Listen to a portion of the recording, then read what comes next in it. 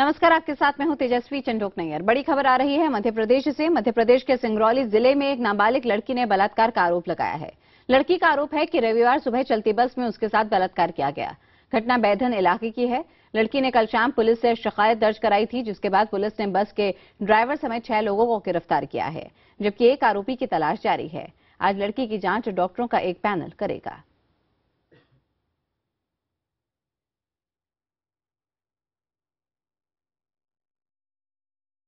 तो वहीं पर हम आपको बता रहे हैं कि किस तरह से मध्य प्रदेश के सिंगरौली में बड़ी घटना जहाँ पर एक नाबालिग लड़की के साथ यहाँ पे गैंगरेप की घटना सामने आई है और कुछ ही देर पहले हमने सिंगरौली के वैधन थानाध्यक्ष आरपी सिंह से बात कर मामले की जानकारी ली।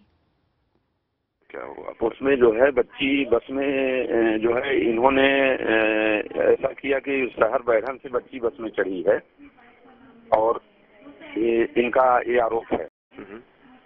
और वो जो है यहाँ से करीब 20 किलोमीटर जलहथनी गाँव है जहाँ उसका मूल निवास है। वहाँ जा वहाँ तक ले गए और उसके साथ रेप किया गया रास्ते में। जबकि सच्चाई ये है कि जलहथनी से ही वो बस में चढ़ना चाह रही थी। और वो बलंगी पड़ती है छत्तीसगढ़ में वहाँ जाना चाह रही थी। तो बस वाले ने कहा कि हम केवल एक किलोमीटर आगे तक जाएँगे। हम बलंगी नहीं जाएँगे। जैसे बस की दो सीढ़ियाँ चढ़ी थी वो अगले वाले गेट से वो तत्काल पीछे तरफ़ पलटी उसने गेयर लगा दिया गाड़ी बढ़ा दी।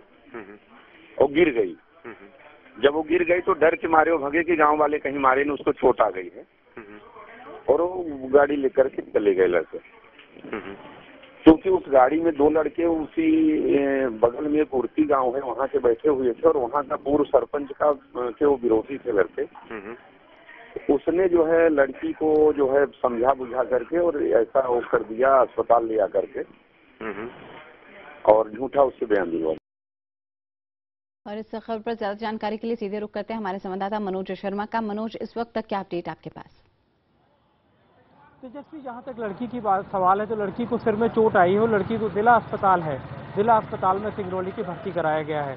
लेकिन जो पुलिस से बात हो रही है तो पुलिस के तीन तरह की बातें पुलिस सामने रख रही है।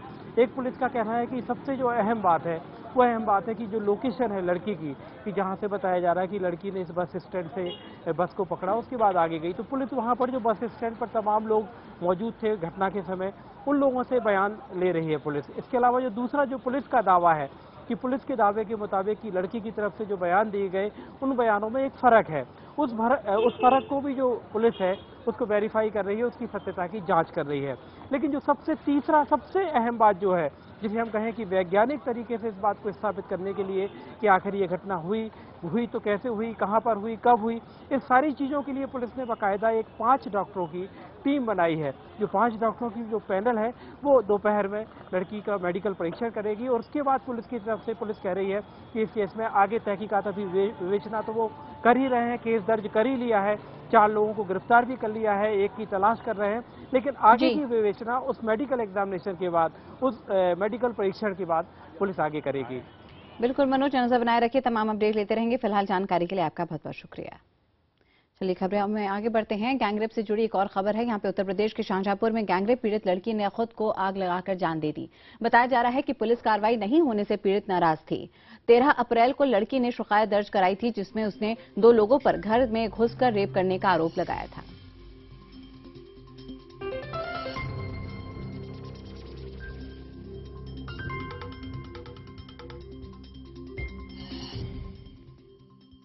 वहीं यूपी के ही अमरोहा में बेटी को इंसाफ नहीं मिलने से नाराज़ पिता ने खुदकुशी कर ली। आरोप है कि कुछ लोगों ने एक दलित नाबालिग लड़की को कार में अगवा किया और उसके साथ बलात्कार की कोशिश की।